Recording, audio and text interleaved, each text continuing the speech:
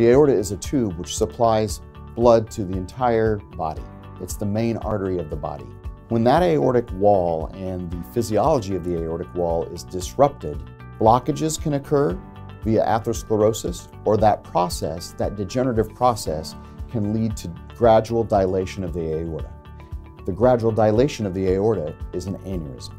Aortic aneurysms are common in people as they age. What happens is that there aren't any real symptoms of an aneurysm per se, but as it gradually grows, it increases its risk of rupture. Aortic aneurysms can develop symptoms other than rupture. These generally are a global kind of nagging abdominal pain. They might have back pain. There can be a sensation of tiredness or malaise. Sometimes we're concerned about aneurysms or the aneurysm wall becoming infected. Patients at high risk for their aortic wall degenerating into an aneurysm are patients who smoke, patients who have lung disease, patients who have high blood pressure, patients who have a family history or a genetic predisposition to aneurysms.